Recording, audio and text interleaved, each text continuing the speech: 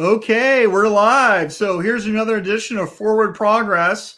This is my show on Thursdays where I interview somebody in the industry uh, that's got some information that you need to know. And today I've got Thomas Shaw with ROQ US here about, and we're going to be talking all about apparel post production stuff.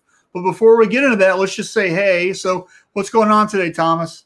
Marshall, I'm uh, I'm really excited to join you. We've uh, you know you and I have talked about this on a few different occasions, and uh, what an exciting topic for for our business owners. Yeah, usually when I see you, we're at a trade show or a bar. We're neither we're neither today. So yeah, either way, I'm always a little worse for the wear, but today I'm feeling feeling pretty good.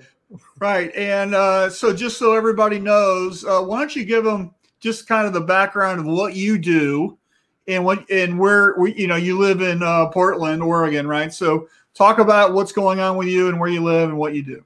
Absolutely. Um, so I'm a part of the team uh, here here at ROQ US. Um, we distribute and sell the ROQ equipment uh, throughout North America.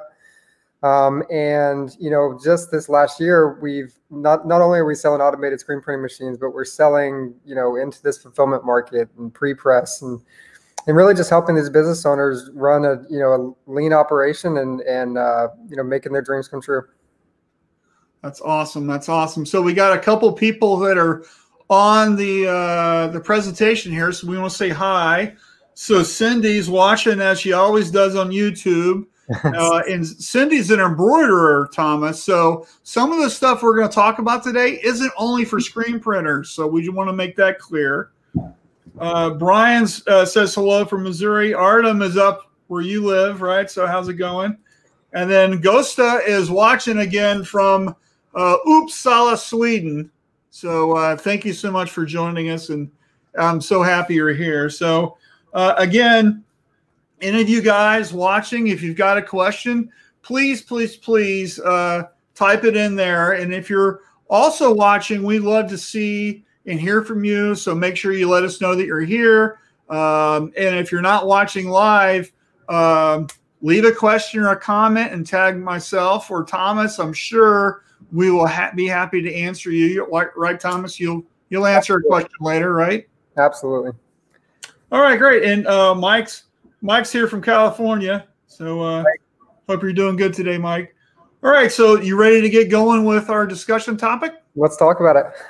Right. So today we're talking about your favorite flavor of cheesecake. Uh, no, that's not what we're talking about. We're talking about the need for post production work has increased. So, uh, what's going on with this, Thomas? Marshall, I you know I have seen since the beginning of this year. Um, I've seen this this post production field grow by leaps and bounds. I mean, as as Americans, we're spending more time in front of our phones and ordering things and having having one-off garments sent to us. Um, you know, basically, this e-commerce market as well is is blowing up as well uh, too. So people are, you know, people are are shipping and receiving goods at a rate that has never, you know, we've never recorded anything like this. Yeah, it's it's just amazing. You think about it, and uh, I'm looking ahead right now, which is something that is good and bad, I think. But looking ahead to this holiday season, and I can't think of anybody that's going to go to the mall to, to buy anything, right? That's just not going to happen. We're going to be ordering from someone's website and or online store or whatever, which means that somebody's going to have to pick it, somebody's going to have to box it up, somebody's going to have to ship it to me. And that's what we're talking about today. And of course, we're all in the apparel industry. So this is really about uh, you know, the folding, the hang tagging, the stickering, the polybagging, the putting that insert in. It's this is what we're talking about today. And I think it really matters more than ever because it's a differentiator between you and the other guy. It's a point of branding. It's a point of, um, it's almost like uh, it's uh, table stakes now having a nice package, don't you think? Absolutely. And Marshall, I mean, the most exciting part about this is it's not just for, you know, these big contract screen printers. It's it's for the shop that, you know, with with, you know, five heads of embroidery or or, you know, two two small screen printing machines. I mean, this this fulfillment uh, you know, it reaches across our entire industry. Right. Oh, and Cindy wants us to know that they do screen printing too. She just stays in the sewing cave, right? So anyway, that that's great. And so one of the things I uh, really appreciate about this is the fact that you know, let's say uh, you know, like Cindy or some of the people watching. I mean, they're not you know, they're not in a 200,000 square foot facility and they're not doing 20 million shirts a year. They're cranking out stuff for their local business or that high school or that uh, civic organization or the fundraiser for uh, that nonprofit that's in their area, right? How can what we're talking about today, the post production stuff, really help elevate that order? And why should these people you know, even be offering this to their clients. Absolutely. Um, so you know, whenever whenever people are offering a service like fulfillment, I mean, you you have the ability to impact your customer from the second that they open something up. So you can create an experience for that person, and and you know, you and I have talked about it, but I mean, you know, there are so many different ways you have to wow your customer and to, to win them over as a as a you know a permanent permanent customer of your own. Um, so you know whether it's something personally branded, whether it's uh, you know uh, a bumper sticker or uh, you know basically a QR code that they can scan, like uh, a scent a scent that you put on the garment. So whenever they open it up, they smell something that reminds them of that experience, and the ability to create that and to to give that is really you know if you master that, then then people are people are going to come back to you. Yeah, right. And um, so is uh, maybe everybody's kind of doing this a little bit, but maybe they're not doing as well as they need to, right? And uh, so, what are some things that they should be really doing and thinking about here? Yeah, in terms of uh, in terms of this, I mean, you know, basically, not only should you be thinking about how it applies to the customers that you have, but you should be manifesting the type of customer that you want to go after and that you that you would see that could benefit from this. And so many people say, like, you know, my current customer base doesn't have a huge need for it. And the the answer is to, you know, to evolve and to go out and find it because this is a multi-billion dollar industry. And and it is it, you know, the business is out there. You just have to adapt and, and find it. Yeah. And and I think that's exactly right. So let's just take, you know, uh, that whole idea of adding more things to the cart, for example, right? So you've got a customer that orders a thousand shirts you print them, you order them, or whatever you do, and you put it in a box and ship it, right? Whatever you charge, that's the money you get. Now you're doing that same order for a thousand shirts, but instead of sending them the thousand shirts, you're going to do a custom uh, packaging. You're going to maybe do a hang tag on it with a uh, call to action or something on it. And then instead of sending one box to one person, you're sending it to a thousand different people. And now you, the value that you add to your customer is the fact that they've got the shirts printed and you took a, take care of everything for them and it got sent off to somebody. And now the value of the order, you know, what was in your cart, so to speak, is you know it's it's a huge factor that's added to that. So this drives more revenue to your business. This drives more profit to your business. This makes you stickier to your client because frankly, they don't have time and or because right now because of COVID, they're probably running at half speed anyway. So this allows you to be a little stickier to them and a more valued partner. And so instead of only looking for businesses where we can get the apparel decoration order, we should be trying to find customers that have the need for this type of stuff so we can increase the value for the order. We can be making more profit. And then at the end of the day, we're, we're a more successful company. Absolutely. I mean, you know, you think about the different types of clients there are. I mean, uh, you know, we we should be the professionals in this field as business owners. Um, we shouldn't be relying on you know baseball coaches or people you know people that are creating their own clothing brand. We should do, let them use their time to do what they do best, which is create and network and and pitch their own their own uh, their own mission. And so we have to be the trusted advisor on this. Right, right. So let's get to the next topic, which is really about scheduling the work. And I think this is really the two most important things here is about capacity and velocity. And so when we think about doing the post production on apparel, how long do things take? How long does it take you to do the decoration part, right? Because that takes time, right?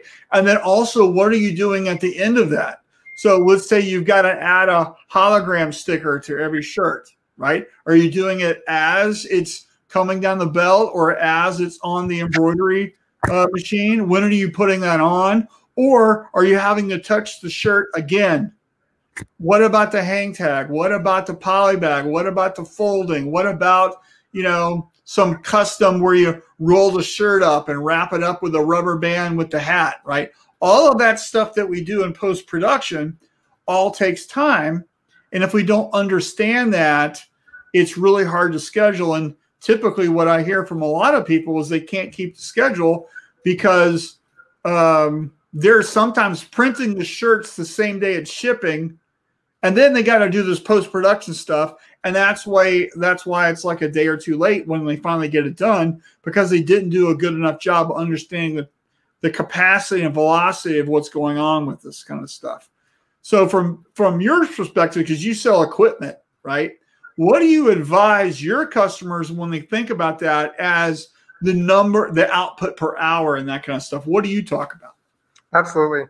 Um, so you know we run into obviously with capital equipment costs. I mean these machines are uh, you know they're they're anywhere from fifty thousand to one hundred fifty thousand dollars plus, right? Just the more advanced these these systems get. Um, you know, and you're, you know, so you kind of have this fine balance that you're doing. Uh, you know, our, our units run roughly six thousand pieces in a ten hour shift. Um, so if your daily daily requirement is twelve thousand pieces, you need to be looking at running multiple shifts or running multiple machines, and that really that that differs on on a lot of different things. So, like you know, if you're in a part of the country where labor costs are, low, uh, you might benefit from running two shifts. If you need to be, you know, if labor costs are super high and you need to be need to be producing more in a 10 hour shift, you don't want to run two, then maybe maybe you look at investing more in the capital equipment than anything. Um, the biggest thing, like you said, is is um, you know planning for the future and and making sure you have a solution that is uh, that is either modular or has the ability to evolve as technology changes and customers' needs change. Right, and a lot of times it's also about you know your workflow, right? Because I've been to shops where they have the shirts come off the belt, then it goes right onto the auto bagger, and boom, boom, boom, boom, then it's boxed up, and it's not put on a separate cart or skid. You know, mm-hmm. you've been to that, you've been to shops like that before, right? Absolutely. It's all about that one piece flow rather than touching it 16 times. Yeah, I mean, uh, like the principle of lean manufacturing, right? Is like how how quickly can we get to an end result, and how and can we reduce the amount of times that we're handling something? And and the people that are doing that are the people that are going to really benefit and make money off of this. Yeah. So we have a couple comments here. I want to throw that up here. Uh, David Egger says an auto bagger with a customer label that is applied to each bag. I think he meant custom really increases value and customer satisfaction for the customer to return the customer to market view via word of mouth. And I think that's that's a great point, and it's because uh, you're you're a little stickier, right? And uh, and it's not like every other T-shirt you get, and uh, but just because it looks nicer, and frankly, to me, anything that's embroidered should be polybag because it has a higher perceived value anyway. And so right after we steam the shirt to get the hoop mark out, you know, and we've we've trimmed it, it goes right, it gets folded, goes right in a bag, and then we box it up just because it makes it look so much nicer and the perceived value of that item is much higher. Yep. Yeah, it's um, you know, it's it's an amazing experience that you can provide, especially like you said, it's perceived value. And if something comes to you and whenever you open it up, it, the feeling that you get, um, you know, paying paying a little bit extra for that is, you know, the the value of that is, I mean, you can't even put a number on it to me. Right, right. And so when we're thinking about scheduling this stuff, I think you really got to look at the number of steps that we have to do. Right. And so uh, let's say a typical order uh, has to be folded it has to be polybagged. Maybe you're adding a hang tag label in the neck or under the you know the armpit there, right? When are we doing these things? Right. So we really need to hang tag that shirt before we fold it and bag it. So is that being is that being hang tagged right there at the end of the dryer belt? Is that a separate step over here in post production? and then do you have a handgun or do you have an automatic thing that's air driven? You know, there's there's a million ways that you guys can be doing this stuff, but it's really understanding what your throughput is per hour, your labor, how are you setting up for that? Um, you know, I've been in um, some shops in California where they just had a whole lot of people, and as the shirts are coming down the dryer belt, uh, somebody was putting a hologram on it, somebody was hang tagging it, and it actually went into. They just had the the flip fold thing, boop, boop, boop, boop, and it went into a poly bag, and it was bagged up and was put in a box. Yeah, it, it, it never left that area. It was bagged up right there, exactly how it needed to be. And and Marshall, we you know we definitely saw uh, we saw a need for the machine side of this. This I mean for for years years coming. Um, but just even since uh, the start of 2019, um, you know, we've uh, I've seen a lot of a lot of these different things becoming automated. I mean, we we now have automation and you know packing multiple garments per bag. We have automation with applying a hologram label, like you mentioned. Mm-hmm. Um, we've even gone so far as to uh, test and, and put machines in the field that are putting a folded, tagged, and tagged garment into a poly mailer and printing variable data. Uh oh. Thomas's internet just crapped out. well, let's hope he comes back. Um, that's not good. Hey, you never know what's going to happen with a live show. So uh, all he has to do is log back in and click the link. So uh, I'm sure he's sweating bullets on his end. So while uh, I'm waiting on him, so let's stall for a minute. And you guys have any questions? Can you type them in the comments, and that way maybe I can help you answer. And by the time he comes back, we'll have some things to talk about. Uh, in the meantime, um, let's let's uh, let's let's talk about um, let's go to the next thing and really talk about expectations on automating this task because that's kind of where we were going with it. And I'll just kind of like give you my take, um, which is really about uh, getting uh, more things through the pipe. And so uh, if you're building uh, and you have a need for sales and you have a need to get this stuff handled, you're really going to want to automate this as much as possible uh, just because it's going to allow you to do it with less labor. It's easier for your crew.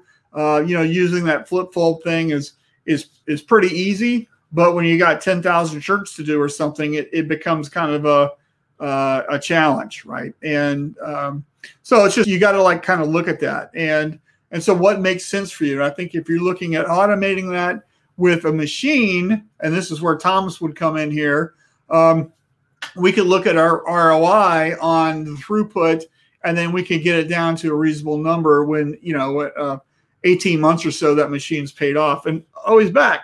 I am back. I there he is. Can you hear me? I can. Yep. Great. So, um, what I was talking about was really about the expectations on automating the task from a return on investment standpoint.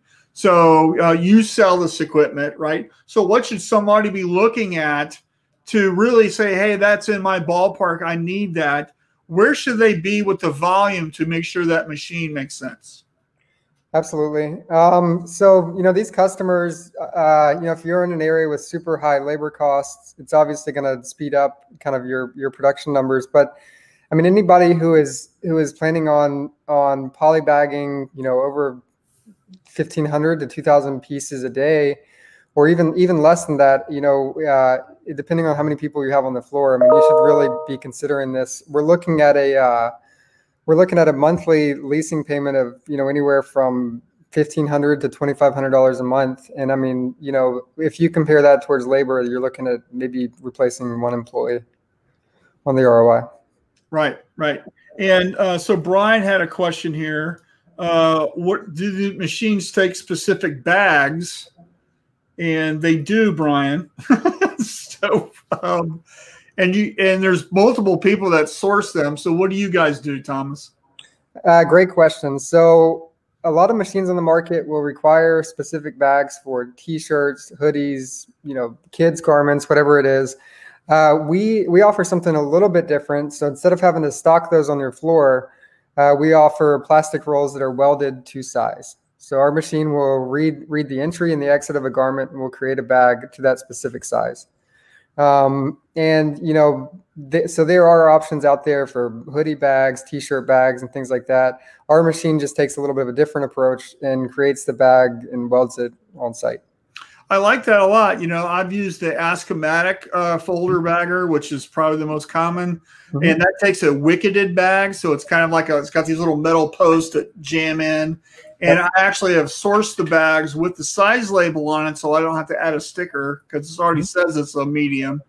And that was a really good solution for that. And I had the child-proof warning disclaimer thing already printed on the bag, which is a, a pretty much a default these days, I'd say and um, so it's just it's an easy way of doing it. I like the fact that you've got a piece of equipment that it's more versatile because you've got a, it's a sheet of plastic that's going to be folded around the garments, and that way it's more versatile, and you don't have to stock two million SKUs of stuff. You only really have to order rolls of uh, plastic, right? Absolutely, and the the plastic industry is um, it is also something that's adapting and changing. I mean, now you have offerings like eco-friendly bags, right? So if you have a oh, customer, oh, really, yeah. So if you have a customer who is very eco-focused, you can provide something for them. Um, in addition to that, you know, uh, you know, plastics plastic is a cost, right? So the mm-hmm. idea is if you're folding a youth garment, but you're putting it in a hoodie bag, you're probably spending more than you would if you had right if you had bags or you're worried about stocking levels on the floor and things like that of a certain size or a certain certain configuration and um, you know we just know that uh, that the mar- that your customer will change so that's why we kind of adapted the custom bag size. So the sustainable plastic is that like plant-based or is that recycled poly? What is what is that? Yeah, so many people are doing plant-based uh, plant-based products, and some people are doing like uh, recycled ocean plastics into bags. Um, that industry is still somewhat of a, a new industry, but um, you know, obviously, like our industry has a responsibility to start looking towards becoming more and more sustainable.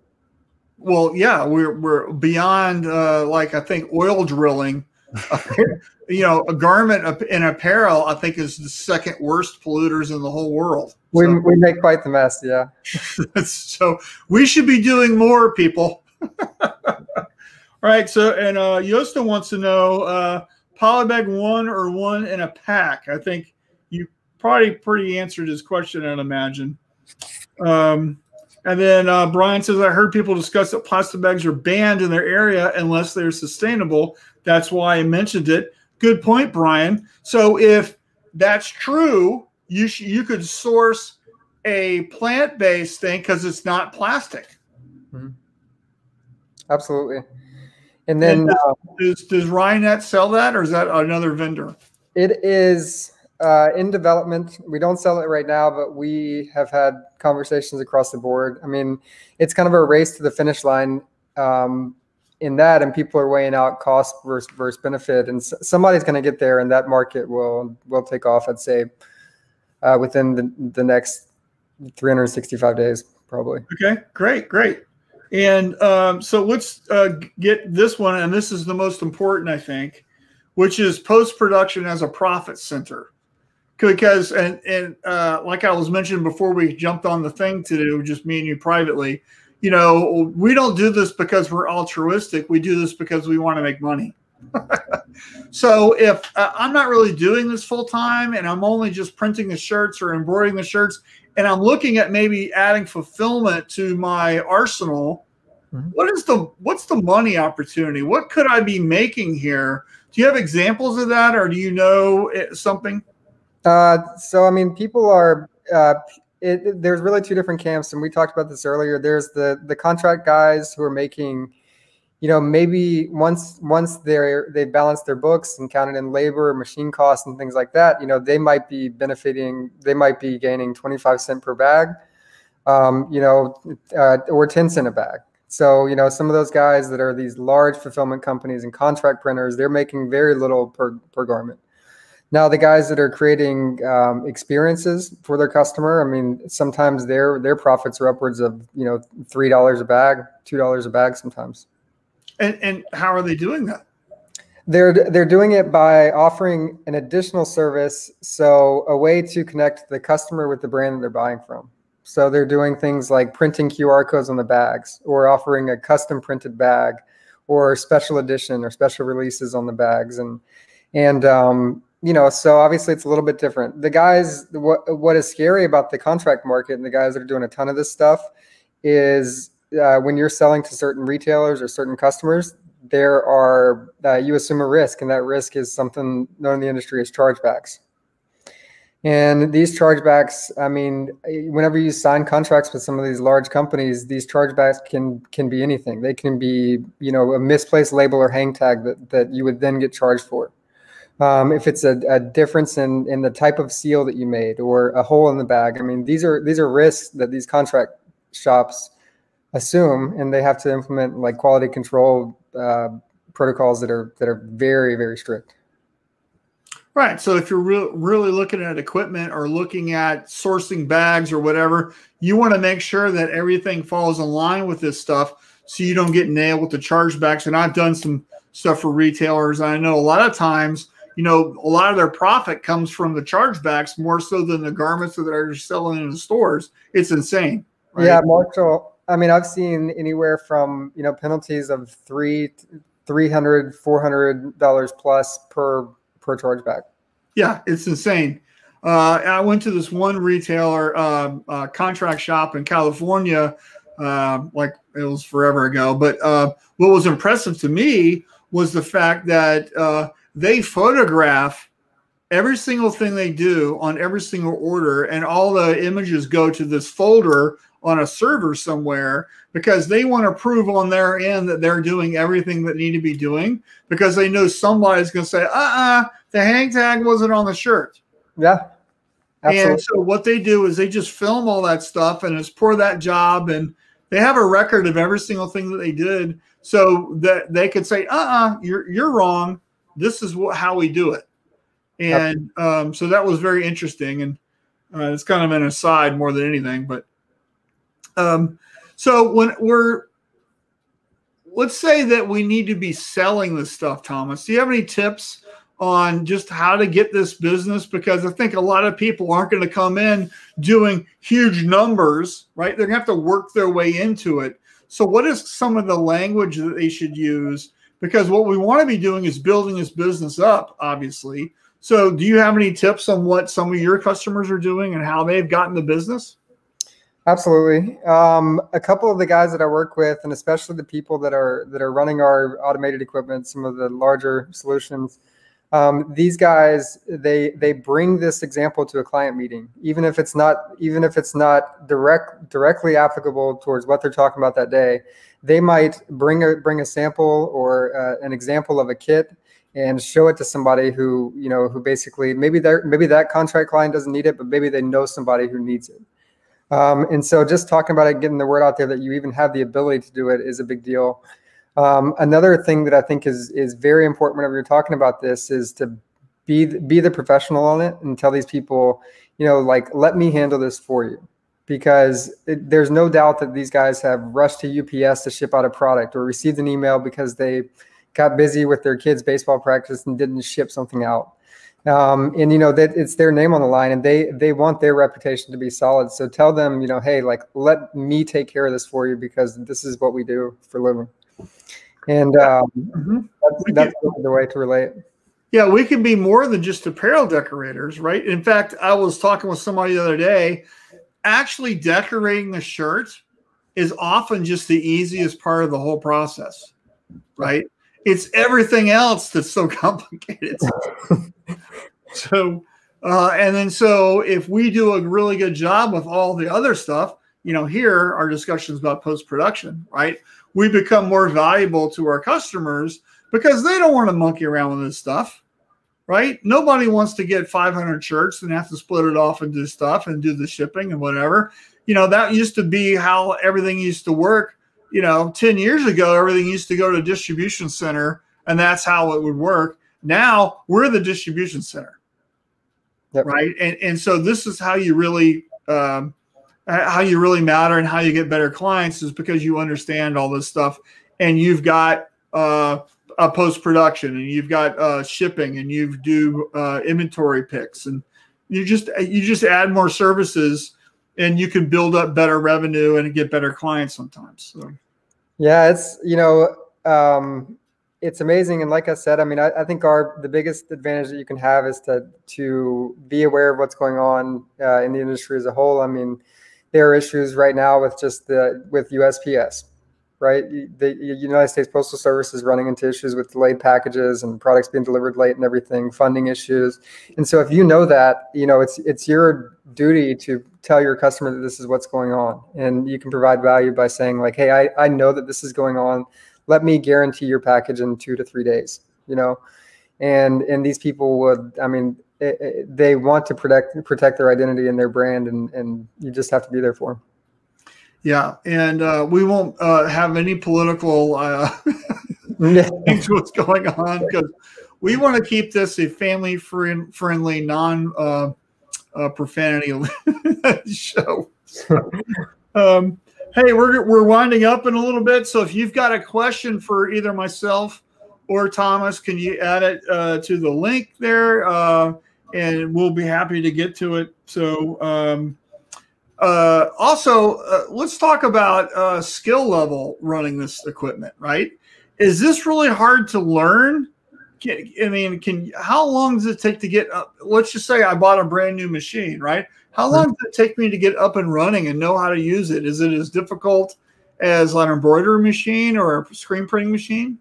It um it it it has a lot of the same nuances right? Um, so, you know, if the best way to, to make sure that these things have uptime is to be familiar with the machine, be familiar with what your preventative maintenance is, um, and then just spend time with us at the install. So we do a uh, we do anywhere from eight to sixteen hours on site um, of actually training on the unit. Um, that being said, I've been in shops with uh, a brand new employee, and that employee was averaging 600 to 700 pieces per hour on his you know his first day of the job.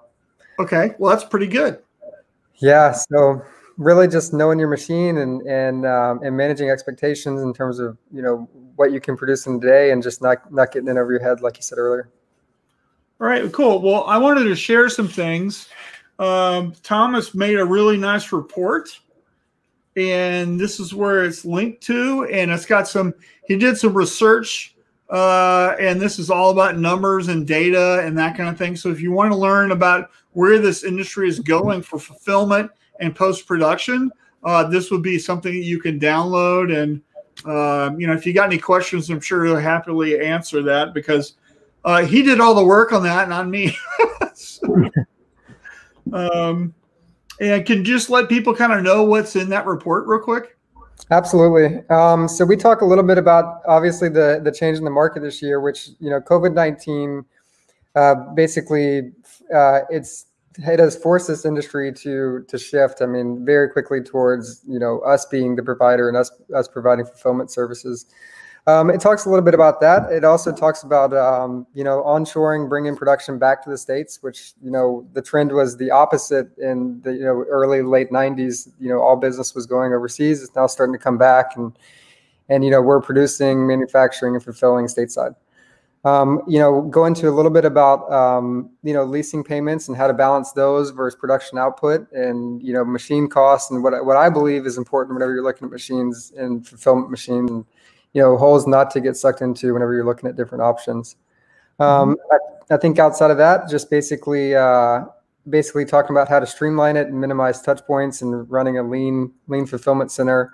Um, and then the last page is what we just covered, which is you know how do we make money off of this and how do we um, you know how do we how do we take it take our piece of the pie um, because this business is out there and somebody's gonna somebody is gonna make money off of it. Right, right. Yeah. And I was talking with somebody the other day and they were saying, uh, nobody's buying right now. And my comment back to them was like, well, everybody's buying. They're just not buying from you. right. Mm-hmm. There's different people buying. Your customer that you had back in February or January, they not might not be around right now. There's new people. There's new companies. There's new needs because the world has changed And um, and I think post production and fulfillment is a big part of that landscape for this industry, you know, for a long time to come. So you should be really looking at that. Um, all right. So uh, if anybody wants to get a hold of uh, Thomas, here's his address. It's probably the shortest email address I've seen in a long time. So uh, usually they're big, long, big, long uh, emails. Um, so uh, any last minute uh, things to add here? Really, just um, you know, I'd like to thank everybody for tuning in today. I mean, it's what a great platform and what an exciting topic to talk about. I mean, you know, there's there's a lot of things that aren't so fun to talk about going on, but this is something that I mean, this is exciting and it should be exciting for these people. And and you know, we should if you're not if you're not considering it today, you know, you, you need to you need to really get this on your radar. Okay, great. Thanks. Thanks, Thomas. Appreciate you. And, and again, if anybody has a question or a comment or anything, and you're watching this, especially if you're watching this recorded, just leave something in the comment, regardless of what channel you're watching this on, and we'll get back to you. So thanks everyone for watching and have a fantastic uh, weekend, and we'll talk to you soon. Thanks, Marshall. Thank you.